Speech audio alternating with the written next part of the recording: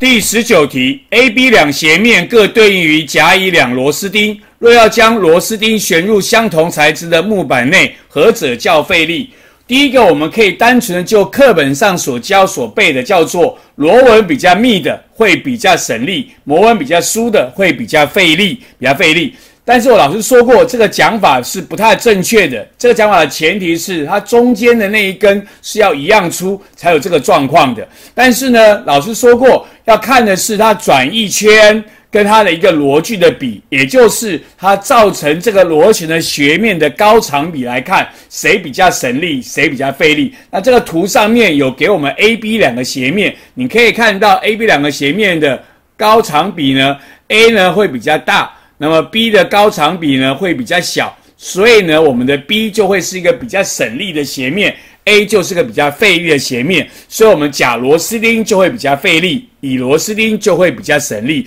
这样的看法就没有问题了。所以第十九题问我们说何者比较费力，我们答案呢选择的是 A，甲比较费力。